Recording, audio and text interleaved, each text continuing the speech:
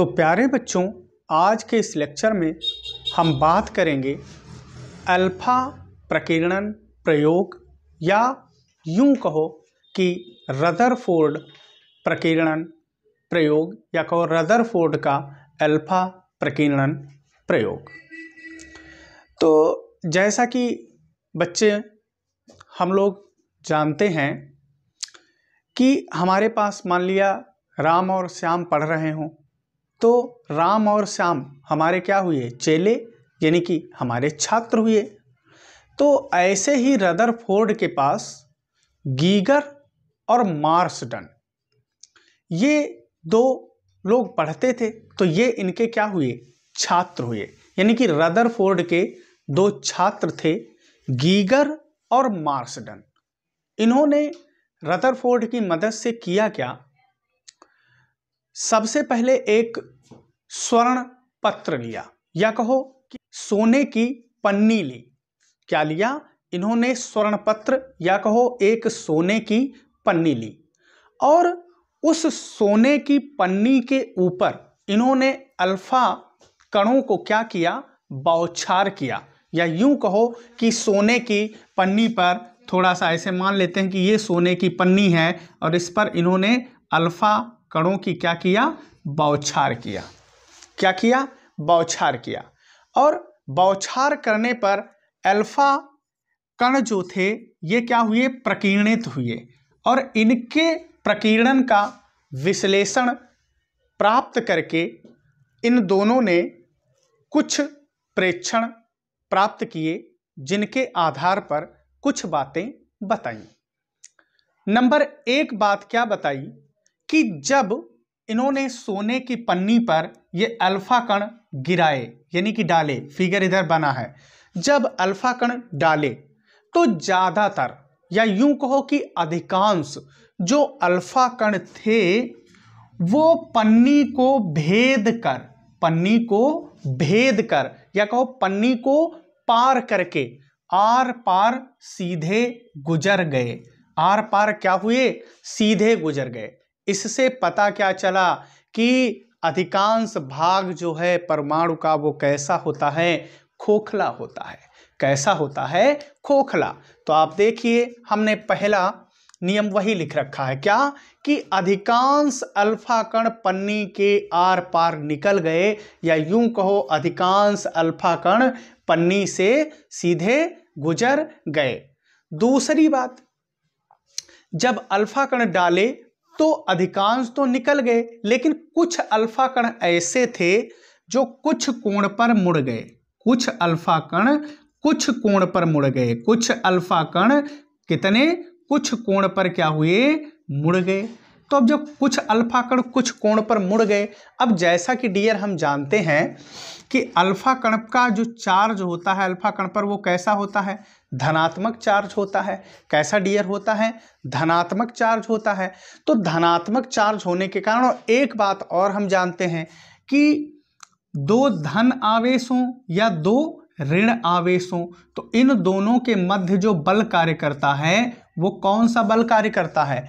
प्रतिकर्षण बल कार्य करता है। कौन सा बल कार्य करता है? प्रतिकर्षण। और जबकि धन और ऋण या ऋण और धन के बीच कौन सा बल कार्य करता है? आकर्षण बल कार्य करता है, जबकि धन धन ऋण ऋण के बीच प्रतिकर्षण। तो कुछ ऐसे अल्फ़ा कण थे, वो हमने कहा, कुछ कोण पर क्या हुए? मुड़ गए। तो इन्होंने अपने अगले पॉइंट में क्या बताया था कि नाभिक कहाँ होता है? बीचों बीच में। तो तनिक सोचो, जैसे कि ये अल्फ़ा कण हम इसके ऊपर क्या कर रहे हैं? डाल रहे हैं। तो कुछ ऐसे अल्फ़ा कण होंगे जो यहाँ पर पहुँचे आकर के, या यहाँ पहुँचे यहाँ पहुँचे। तो अब सोचो अब इसके पास क्या है? नाभिक के पास धनावेश और यहाँ अल्फ़ा कण के पास भी क्या था? धन आवेश तो दोनों के मध्य क्या लगा? प्रतिकर्षण बल। जिस कारण ये कुछ कोण पर क्या हुए? मुड़ गए।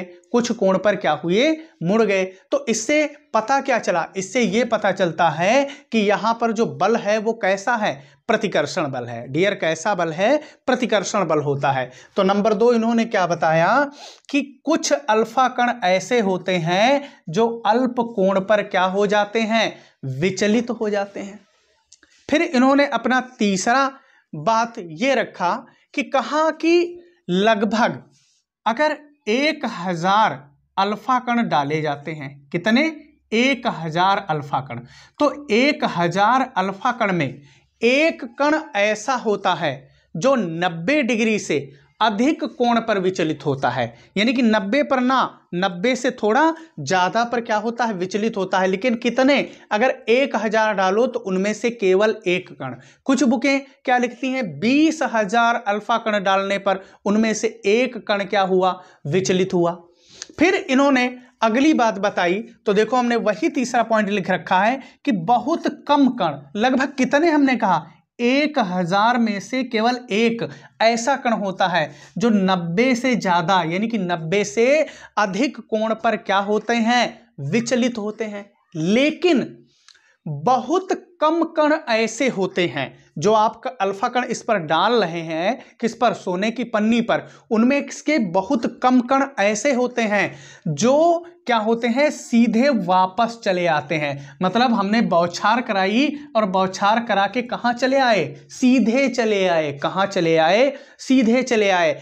अर्थात 180 डिग्री पर। क्योंकि भाई हमने पहले डाला, ये आया और फिर ऐसे वापस आ गया। तो यानी कि 180 डिग्री पर क्या हो गए? विचलित हो गए।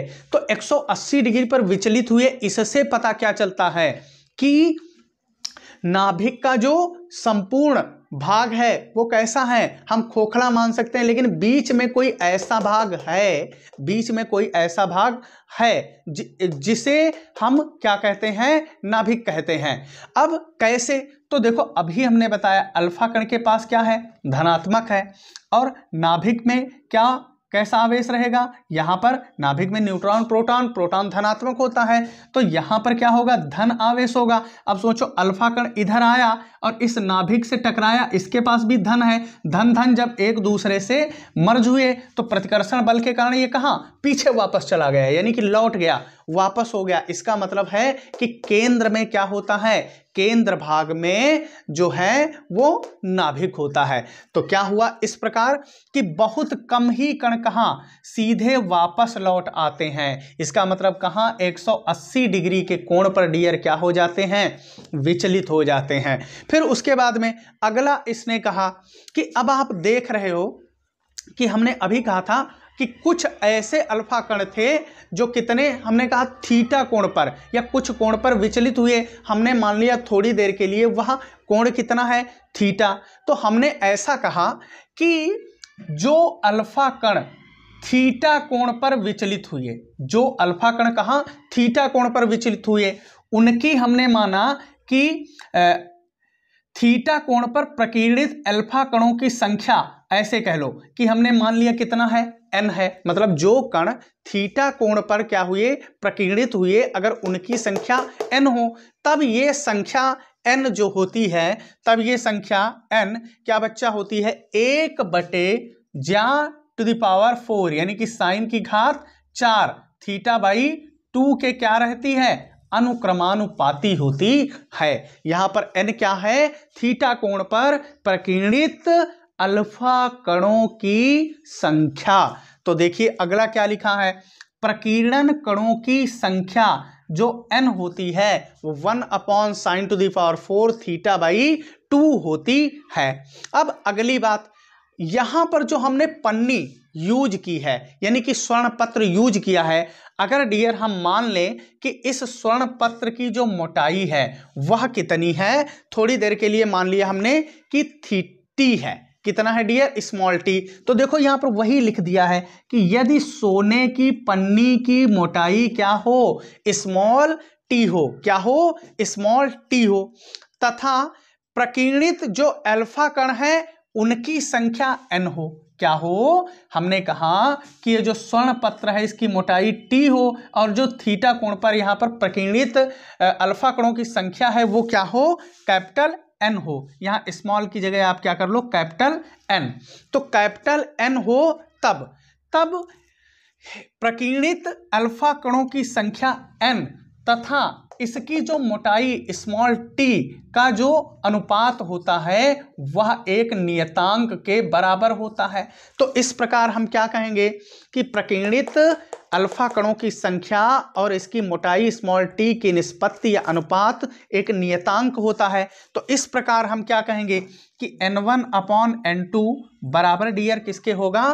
टी वन बटे टी टू के होगा। एन वन बटे एन टू किसके बराबर होगा? टी वन बटे टी टू के। तो आइए पुनः एक बार देख लेते हैं। तो हमने अभी क्या कहा कि रदरफोर्ड वैज्ञानिक रदरफोर्ड के कौन छात्र थे? हमने कहा था कि गीगर थे, दूसरे थे मार्सडन इन्होंने क्या किया?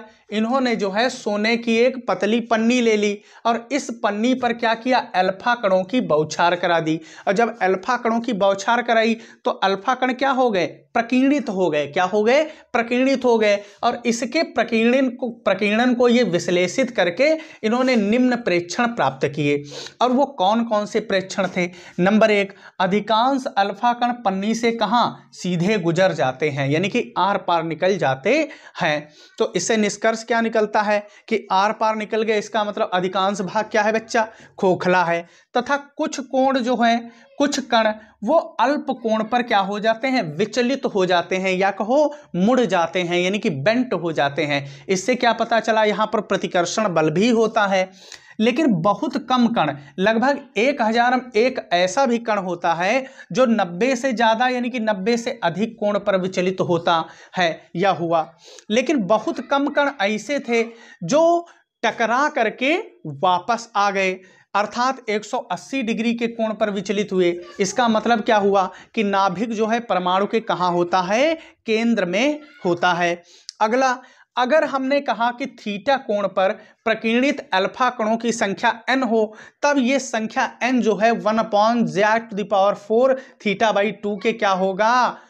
अनुक्रमानुपाती होगा। अगर आप इस प्रकार कहो one upon sine to the power four theta by two के अनुक्रमानुपाती, या इस प्रकार कहो कि एन व्युत क्रमानुपाती sine to the power four theta by two के होगी। दूसरी बात यदि सोने की पन्नी की मोटाई हमने कहा, इसकी हमने क्या मान ली है? टी मानी है। तथा प्रकीर्णित अल्फ़ा कणों की संख्या क्या हो? एन हो।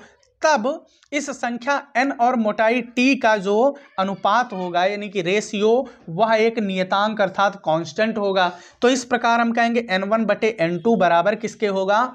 टी वन बटे टी टू का। तो बच्चों, आज के इस लेक्चर में बस इतना ही। मिलते हैं अगले लेक्चर में। धन्यवाद।